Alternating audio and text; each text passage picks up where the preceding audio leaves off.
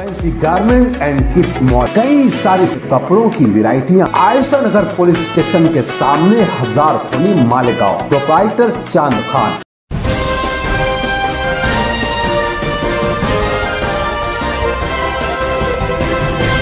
मानव समाचार मानवता के हक में।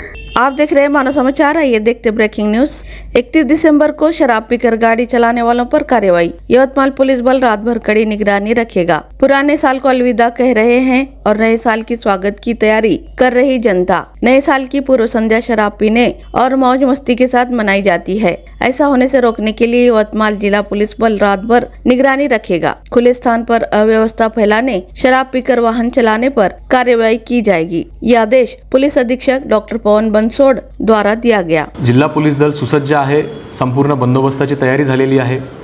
नाईट पेट्रोलिंग, हायवे पेट्रोलिंग, इतर रस्त्यावरची पेट्रोलिंग ही रात्रभर सुरू असणार आहे. नाकाबंदी करण्यात येणार आहे. त्याचबरोबर ड्रंक अँड ड्राईव्हच्या केसेस म्हणजेच दारू पिऊन वाहन चालवणे या केसेसवर आमचा भर असणार आहे. त्याचबरोबर विविध ठिकाणी हॉटेल आणि ढाबे इथंसुद्धा आमचा बंदोबस्त असणार आहे. इथंसुद्धा चेकिंग केली जाणार आहे. त्याचबरोबर ओपन ग्राउंडवर केक कापणे तिथं धांगडधिंगा करणे तिथं पार्टीज करणे ड्रिंक करणे याच्यावरसुद्धा आमचं लक्ष असणार आहे आणि इथंसुद्धा आम्ही केसेस करण्याचं आणि बंदोबस्त देण्याचं नियोजन केलेलं आहे. आपल्या मार्फतीने एकतीसची नाईट ही शांततेत करण्याचे आव्हानसुद्धा जिल्हा पोलीस दलामार्फत करण्यात येत आहे. मोर अपडेट्स के लिए देखते रहे मानव समाचार हमेशा सच के साथ।